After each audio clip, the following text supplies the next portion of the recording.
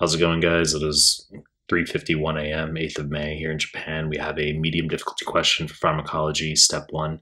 Before we get started, please subscribe to my channel. I really appreciate it. Give the video a like. Really appreciate it. Find me on Instagram, Mehlman underscore medical, M-E-H-L, man underscore medical. Links down below. Find me on Telegram. Links to the Telegram group and channel are down below. Now start the clip. 44-year-old man, three-month history, painless right-sided facial swelling. There's hepatosplenomegaly, mediastinal mass. Biopsy of facial swelling confirms the diagnosis. Rituximab is commenced. Question wants to know which of the following is the patient at greatest risk uh, from as a result of this pharmacologic therapy. Now, this diagnosis clearly not critical for answering this question, but I decided to run with it anyway because I want you to know how Hodgkin presents, Hodgkin lymphoma slash Hodgkin disease, which basically every question I've observed on NBME material, notably for 2CK, they're going to give you a painless lateral neck mass slash painless lateral facial swelling. Okay, it's just lymphadenopathy. And then they will throw in hepatosplenomegaly sometimes. They can tell you that there's a mediastinal mass. It's not a thymoma, it's mediastinal lymphadenopathy. They can also tell you that there is a Virchow node, spelled Virchow node, okay, so Troisier sign malignancy. That's a palpable left supraclavicular lymph node, need not be associated with gastric cancer, okay? So Next best step on 2CK is biopsy of a lymph node, showing you Reed Sternberg cells, your CD1530 positive B cells with owl eye appearance. Okay, now rituximab is commenced. The mechanism of action. Well, this is pass level, which is it inhibits CD20 on B cells. So, question wants to know now what's most likely to result uh, from commencing rituximab, you say, well, no fucking idea. Well, let's just hop to the answer choices. Okay, so choice A, acute tubular necrosis, wrong fucking answer. For USMLE, highest yield agent that will cause this, aminoglycosides. Okay, so gentamicin, tobramycin, amikacin.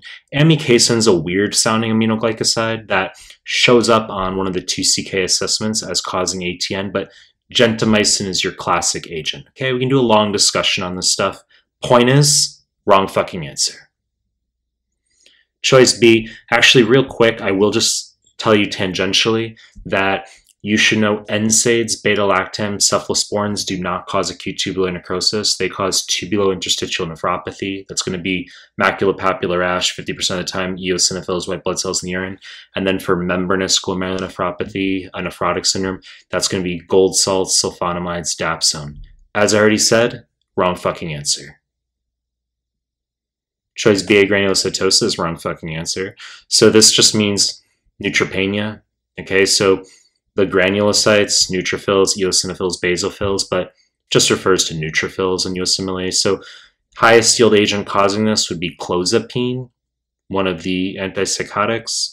Also, the thionamides, the anti-thyroid drugs, so propylthiouracil, methimazole, methotrexate, very high yield for causing agranulocytosis. We can talk about other agents, lower yield. I mean, ganciclovir for CMV, ticlopidine. Point is, wrong fucking answer. Choice C, actually, I'm just going to keep doing this repetitive, okay? Some just another point I want to make is that the way granulocytosis shows up on NBME questions is mouth ulcers. Okay, they really like that. Maybe half of questions will just tell you mouth ulcers. So they'll say, patient was recently treated in hospital for hyperthyroidism and now has mouth ulcers. You're like, what the fuck? It's not dramatic, okay? It's just agranulocytosis, probably from PTU. I said methimazole can do it as well, but propylthiouracil used for thyroid storm. Wrong fucking answer. Choice C, bacterial pneumonia, correct answer. Now, you say, well, how are we supposed to know this? This sounds very nitpicky. I agree, but this shows up on one of the NBME questions. All right, they ask for uh, the potential adverse sequela of rituximab. And here's how we can rationalize. If you know that rituximab inhibits CD20 on B cells, you say, well, what do B cells do? B cells mature into plasma cells that produce immunoglobulins. And immunoglobulins are for humoral immunity, right? I mean, immunoglobulins are what are going to clear out bacterial infections most of the time. So if we knock out B cells, we're knocking out humoral immunity and our ability to fight bacterial infections. So we can link that, we can make that association here with bacterial pneumonia. We don't necessarily have to conclude it's the answer right now. I said it is the correct answer, but when we're walking through the answer choices, that is the association we're going to make.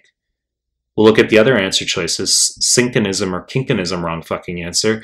This just means tinnitus, which is ear ringing, plus headache. This is going to be due to quinidine, which is a type 1A antiarrhythmic sodium channel blocker. It's pretty much all you need to know about quinidine. Can cause torsades as well. Point is, wrong fucking answer. Choice E, pulmonary fibrosis, wrong fucking answer. So, amiodarone, busulfan, methotrexate, bleomycin. Okay, there's agents we can talk about that cause it. So these are some high yield uh, sequelae slash adverse effects for USMLE. And in terms of a quick summary here, just rituximab inhibits CD20 on B cells, and USMLE wants you to know that will uh, decrease your humoral immunity, increase risk of bacterial pneumonia. You know the deal to make more content. If you like my stuff, subscribe to my channel and I appreciate your time. That's it.